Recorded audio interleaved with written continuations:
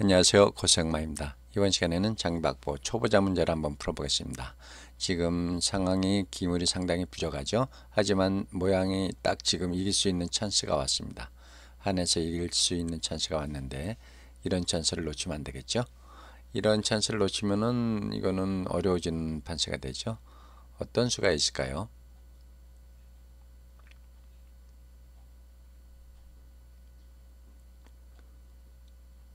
정답을 알아보겠습니다. 예, 볼 것도 없이 이게 때려야죠. 급소입니다. 때리면은 멍군. 이렇게 막는 수밖에 없죠.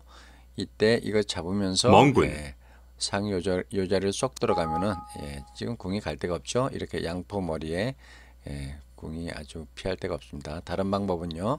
이렇게 먹고 멍군, 자 이렇게 막았을 때 이렇게 잡으면서 장군, 장군. 쳐서 멍군, 사료밖에 못 먹죠. 그런 다음에 또 요 자리 들어가면은 바로 외통이 되겠습니다. 그렇죠. 갈 데가 없습니다. 자 이렇게 해서 한이 이기는 방법 두 가지 방법 알아봤습니다. 그러면 다음 시간까지 안녕히 계십시오. 감사합니다.